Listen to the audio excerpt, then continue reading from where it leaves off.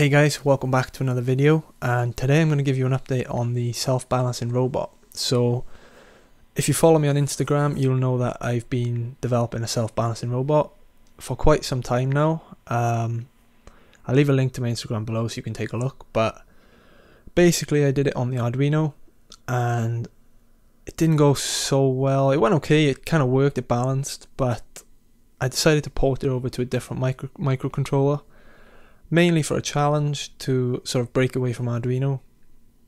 But yeah, uh, I'm going to give you an update on that.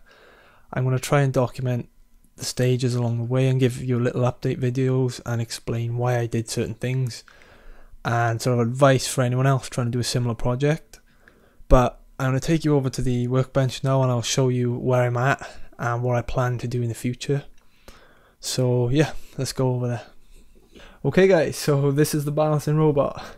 Obviously it's in pieces and there are a couple of reasons for that which I'll get into but basically I've started from scratch kind of so if you didn't know what the robot looked like before I'll leave a picture here and also a link to my Instagram. Go follow me on there if you want to keep updated. But that's what it looked like before and that kind of worked. It was a good design um, it balanced, it did balance for quite a long time, and then I was having issues with accelerometer drift, and also just the fact that the motors I was using before were not high enough RPM. So, for example, when the robot uh, tilted a certain angle, it would just keep going at an angle until eventually it fell over. And to counter that, what you need is faster motors so that as soon as you approach that angle, you can just correct straight away. Even if it means overshooting, you can also correct back. So what I was actually doing was, you know, it would, it would sort of balance like this. It would do this really well. And then it would tilt forward a lot, as I said. It would just keep going and then stumble over. But what it needs is that sort of that speed, that adjustment speed, so it can constantly counter itself through the PID control. So hopefully the changes I'm going to make will combat that. One of those is speed control. I don't have speed control on these motors, so I'm going to try it without speed control, see my results, and then if I need it, I might go for new motors again with speed control. Speed control is kind of only useful if you want to move the robot around, which I do want to do eventually, but I kind of like doing things one step at a time, you know, you don't want to get too far ahead of yourself. So I'm going to implement speak. Uh, I'm going to implement uh, just getting it balancing first, and then probably do speed control later. But speed control is useful, as I said, if you want to, you know, drive the robot around because you can you can work out what speed is suitable to move forward at at that angle, and use that as your sort of forward momentum. And also, if you want to sort of spin the robot like this, you need to know what speed to turn the wheels at to keep it upright. It kind of helps the PID in that sense. Um, so what I was using before was the Arduino Uno board. This is a it's a great little board for simple little projects, but um, there's not many pins on there, and I ran into a couple of issues. So what I decided to do was switch for a Mega board. So this is an Arduino Mega board, and as I said, it's just got more output pins. I think it's a little bit faster as well, and yeah, it's, it's it was better for this, you know, and it fitted nicely on top here of the chassis that I made. So I went with that, and I did learn a lot doing it on the Arduino. But what I've decided to do is port the whole thing over to an ESP32 board. So if I actually show you. It's still connected up because I've been doing some tests but this is the ESP32 board. It's really it's a really nice board. Um, it can do so much just from this one little chip. That's the chip you need there and all the surrounding circuitry. So you can essentially make your own PCB with just this section and it'll run. Obviously depending on what features you want some features you require other components for which is what the development board does. But for basic um, operation, you just need this little section of the circuit here, which is something else I want to do. You know, I want to design my own PCB and get that mounted and have everything running on my own PCB, even potentially the H-bridge motor controller. That's something I want to get into as well as designing my own uh, power circuitry and things like that. So on the original original version of um, my balancing robot, I was using these wheels, and you can probably recognize them. They're from a lot of basic kits, but honestly, they were terrible. The issue I was having with these was uh, wheel spin actually. So what I had to do was I was using uh, electrical tape like this. So I would put the electrical tape backwards so that the sticky side was facing out and I'd wrap it around the wheels.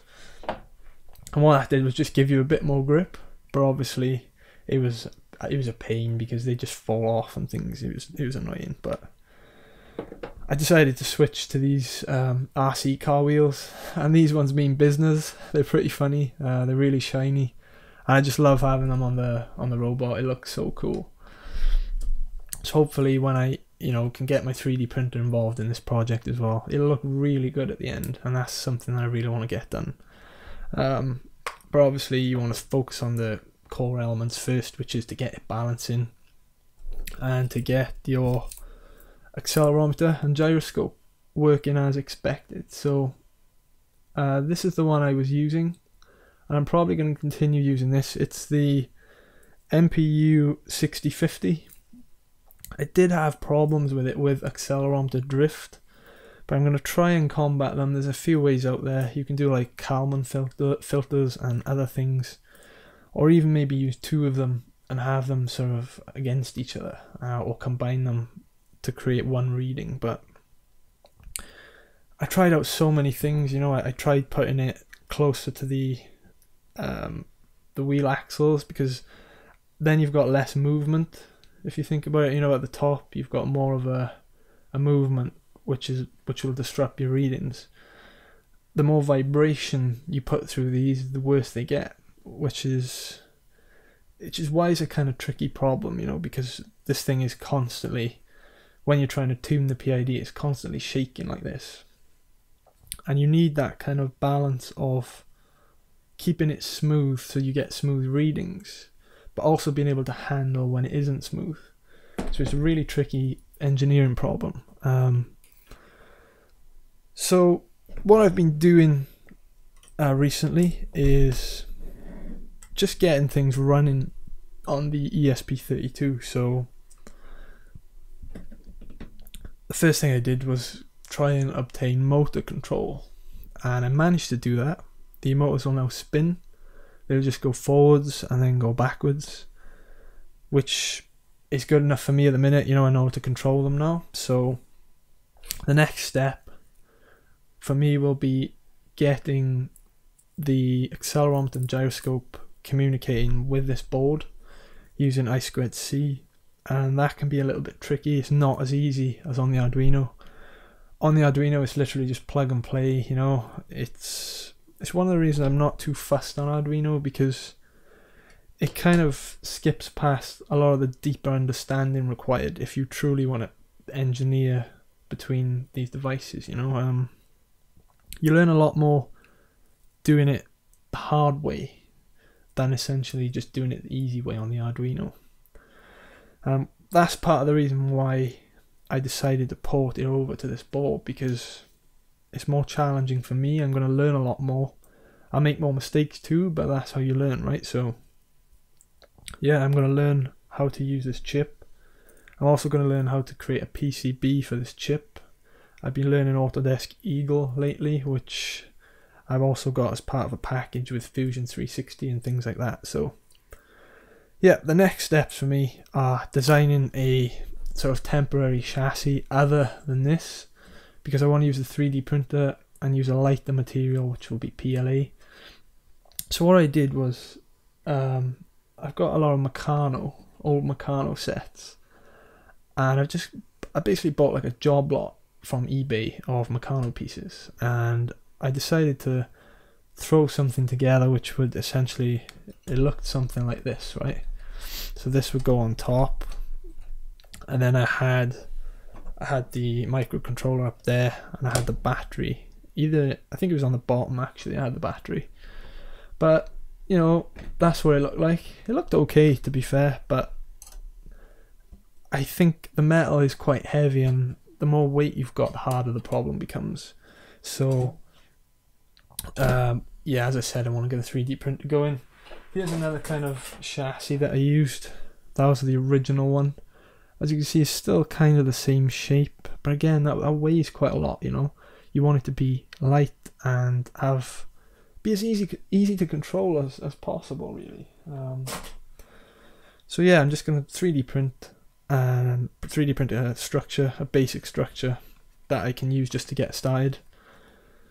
Hopefully, get the accelerometer and gyroscope working. I'm gonna bring it all together, and hopefully, in the next update video, I'll I'll have made use of this on this board and I might explain how I did it as well if, if people are interested in that. But um, as far as the project goes, I'm just to kind of do update videos. So, yeah, I mean, that's where I'm at right now. Um, hopefully, you've got a bit of understanding as where I'm heading with the direction of the project. And if you're interested, stay tuned and yeah, so back over there. Okay, guys, thanks for watching. Uh, I know a lot of people are interested in this project. It's a really exciting one. It's definitely a very challenging one, and that's part of the reason why I'm still doing it. And I want it to be a successful project, especially with the 3D printer and things like that. Now, I can do so much more with the 3D printer and the ESP32. So I hope you stay tuned for the whole sort of journey of the project, and I'll keep coming with these update videos. If you want to stay tuned, uh, hit that subscribe button if you enjoyed the video, give it a thumbs up. And yep, thanks for the support. I'll see you on the next video. Take it easy.